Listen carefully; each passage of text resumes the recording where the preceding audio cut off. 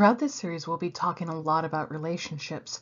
However, it's important that we don't think about stakeholder relationships exactly like interpersonal ones.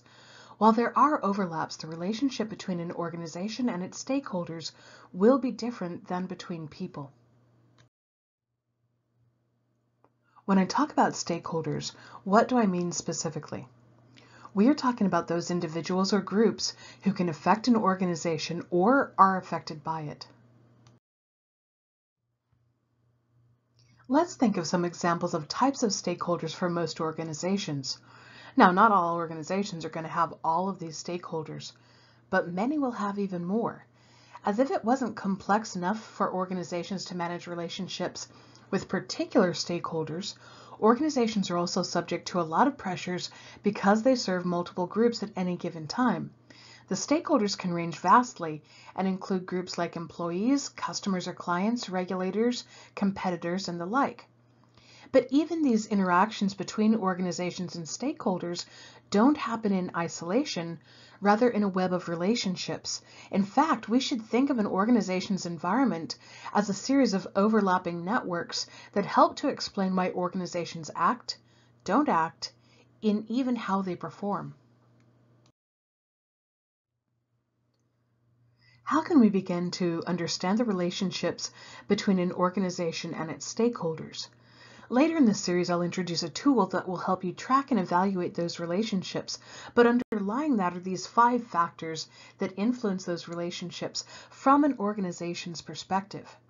First is relational valence, and this represents the positive or negative affect or liking that an organization has towards a stakeholder. Second is the history of interaction between the organization and particular stakeholders that allows for structures, expectations, and even rituals of interaction to emerge. Third, an organization's assessment of the stakeholder group's legitimacy helps us to understand the relationship. Legitimacy refers to the stakeholder's recognizability, reputation, and or expertise relevant to the organization's core work. Fourth is the power that the stakeholder has to influence the organization or its success. Finally is the urgency of the stakeholder's interest in the organization. That is the extent to which a stakeholder's interest or influence is time sensitive or critical to the organization itself. Of course, not all stakeholders are viewed the same by the organization. So from the organization's perspective, these factors tell us how most organizations tend to judge their stakeholders. If we're really going to understand stakeholder relationship management, we have to stop thinking from the organization's perspective and think in terms of the stakeholder's perspective on organizations. We need to do this because we're living in an era where stakeholders are not only demanding different forms of engagement, but also where crises are increasingly common and stakeholder expectations of organizations are changing. These changes mean that organizations have to change the way they relate to and communicate with different stakeholder groups in competitive message environments. For example, instead of just positioning an organization as having a desirable product or service, organizations feel increasingly pressured to have more social res socially responsible value propositions. They can't just sell a product, they also have to do good. So this involves the organization being advocates. Eric Haley is an advertising researcher and was interested in understanding how consumers reacted to advocacy within the context of advertising. In particular, he was interested in how stakeholders reacted to different types of cause-related ads. These are some of the examples of the types of ads that he was interested in. Initially, he identified three perceptions in the context of advertising. First is the perception of the organization itself, and he argues that a central component of the consumer's understanding of an advocacy message was their own perceptions of the relationship between the organization and the consumer. On the whole, consumers evaluated organizations as good organizational sponsors of advocacy messages if it was recognizable and likable, if the organization understood the consumer, and shared common values with the consumer. Second is the perception of organization and the issue. The relationship between the company and the advocacy issue itself was a major dimension in the consumer's understanding of advocacy advertising. Four themes are evident to describe this dimension, a logical association, expertise, personal investment, and a positive intent. And third was the perception of the issue and self. The third dimension central to consumers' understanding of advocacy messages was the relationship between the issue and the consumer. The four dominant themes that emerged to describe this relationship were the importance of the issue to the self, the importance of the issue to society, whether people felt like they could help, and whether people felt that nobody could help.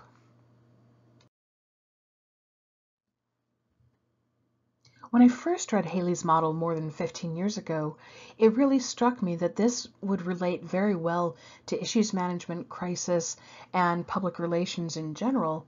And I like to think of this as the love triangle in public relations because there's always more to how stakeholders, no matter who they are and organizations, relate to one another.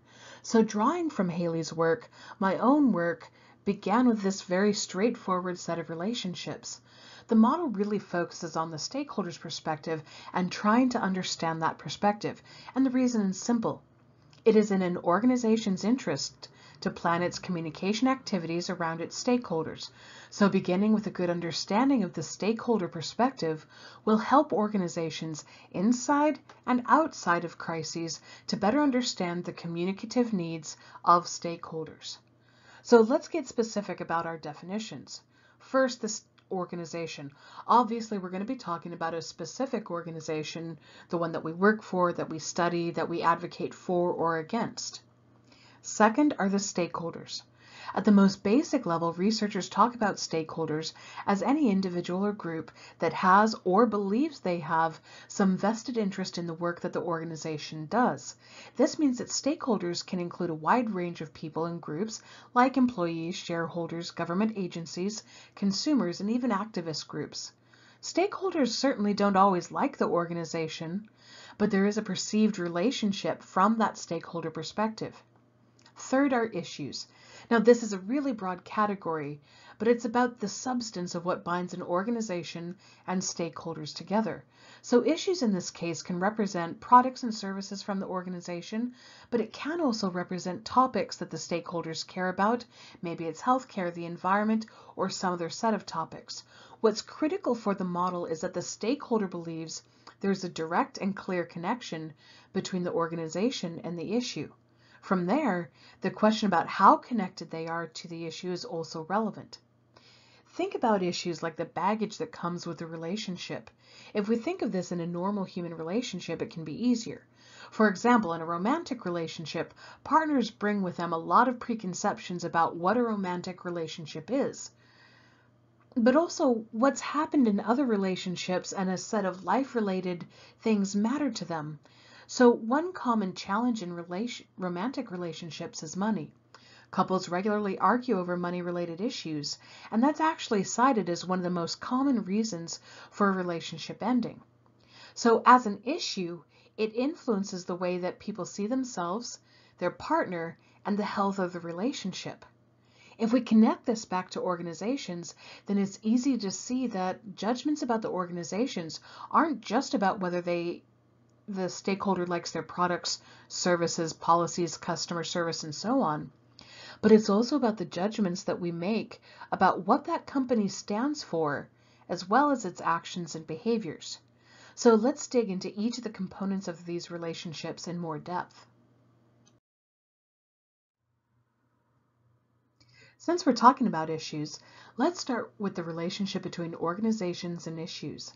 Stakeholders make judgments about organizations and their connection to issues that the stakeholders care about based on a number of factors. Now, research is still identifying all the factors, but these are the ones that have emerged across a large body of research, multiple authors, books, journal articles, all in the last 10 to 15 years.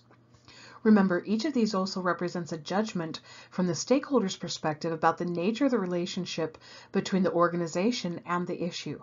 This means that there could be very different judgments by the stakeholders for different issues or types of issues about the organization. So first, let's take a look at blame or responsibility attribution. This comes to us from attribution theory and focuses, as you'd expect, on the degree to which the stakeholder believes the organization has control over the issue.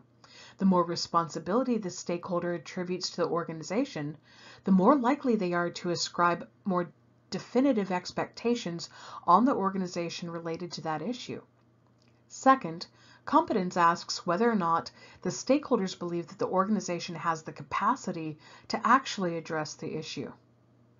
Third, positive intention, concern, and commitment all represent value judgments from stakeholders about their belief that the organization is interested in addressing the issue. Implied in these factors is also an assumption from the stakeholders about the value that they think the organization plays on those affected by the organization's work. In this case, this is where hygiene motivation theory comes into play. Take a look at the reference in the additional resources for more on this, but suffice to say that judgments in the authenticity of an organization's motivation to act is also important. Finally, clear association also matters. If stakeholders believe there's a clear association between the issue and the organization's core business or mission, then it's also important. In the case of corporate social responsibility, for example, if an organization initiates CSR programs that are directly related to their work, then it yields more benefits. Likewise, in stakeholder relationship management, when stakeholders see a clear association between an organization and an issue, it's certainly an issue that the organization should be monitoring. Now, from an issues management or crisis management perspective, the more intensely that stakeholders feel connected to issues, the more likely that those issues are going to trigger them into action. Yet in issues and crisis research, this relationship is one that is only beginning to get a proper level of research attention, with researchers like Yan Jin really focusing on how stakeholder emotion affects reactions to crises. These relationships, though, have been long established in research related to persuasion, psychology, and even learning theory. For example, Albert Bandura's research on efficacy has fundamentally shaped the way that we think about how people react to new information, changes in behavior, and the like. So while each of these attitudinal factors is relatively new to the field of issues and crisis management, they have been well established in other areas of communication and social psychology disciplines with multi-million dollar campaigns. And really important social campaigns that have changed people's lives have been built off these theories. So these concepts are all used in theories like the theory of reasoned action, theory of planned behavior, social learning theory, and the elaboration likelihood model, as well as the extended parallel process model. That's why it makes sense to include them when we're talking about these kinds of relationships. They predict how people react to messages and to situations. Finally, we consider the relationship between the organization and the stakeholder. This has long been the domain of public relations work, and so there is a strong body of research, theory, and practice related to these concepts. Some authors in public relations, like Tim Coombs, argue that it can be a mistake to think about public relations as relationship management because it invokes too much related to interpersonal relationship building. And in part, I think he has a point that the relationship between stakeholders and organizations is different from how we as individuals build and maintain relationships because there are different outcomes of those relationships and certainly different purposes. However, the relationship metaphor is still the best metaphor for public relations because it focuses on the challenging dynamics of negotiating personal and other interests to see what the dyad has in common, cares about, and how it feels about one another. Moreover, across research related to PR, branding, and broader research across all of corporate communications, we find that the concepts from reputation to loyalty describe what can go right and wrong in organizational and stakeholder relationships. At the same time, our understanding of all of them is constantly developing, with a lot of new research in the last several years shedding new light on this complex and interesting type of relationship. Once we understand the nature of relationships between organizations, issues, and stakeholders, then we can begin crafting targeted and specific messaging that should help the organization not only manage the relationship better, but also the issues. There are a few things about the messaging that I want to point out. Most of the research related to the broad field of communication suggests that for messages to be effective, not only do they need to target particular groups to whom we're communicating, so they have to be both culturally and situationally appropriate, but increasingly they need to be delivered on platforms that also make sense for the particular groups. For example, since 2006, the focus on different platforms has grown substantially with more than 150 analyses of different aspects of social media and crisis alone. However, one of the critical arguments that I make is that the messages also have to have an appeal to the particular relational factor affected, that is the intersection of the issue, organization, and stakeholder. For example, messaging men from 30 to 40 years old about their favorite brand should really be different if the problem was a reputational problem versus the target audience's confidence in using the product successfully. This is something that we target in persuasive campaigns all the time, but often is ignored in issues and crisis communication. Finally, it's also important that the messages themselves be appealing and always aligned to the specific and measurable objectives just like any good campaign. Finally, we come to some of the outcomes. There are a lot of potential outcomes. However, the literature talks about three broad types of outcomes of the issues and crisis management communication processes. First, we consider behavioral intention. What's the stakeholder going to do with regard to the organization and the situation? This can relate to the issue, to the organization, or even the industry. For example, based on their assessment of the organization, are stakeholders more or less likely to make a purchase, to follow the organization on social media, or have they even built an expectation for the whole industry, good, bad, or indifferent? Second, we must consider word of mouth. We know that people today are less likely to trust organizations and media sources about organizations or events. However, we also know they trust people they know and other opinion leaders outside of organizations and the mainstream media. So the question of word of mouth is absolutely vital today, even more so than at any point in the past.